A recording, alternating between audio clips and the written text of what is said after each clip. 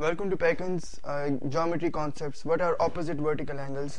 If I look at two intersecting lines, ये दो lines हैं जो intersect कर रही हैं मतलब एक दूसरे को काट रही हैं So I would be able to see that they are going to be forming four angles. ये चार angles को uh, form कर रही हैं अब ये जो इसके opposite vertical angles हैं इन दोनों angles को कहेंगे opposite vertical angles and if this angle is A and this angle is B, angle A is going to be equal to angle B and angle C is going to be equal to angle D.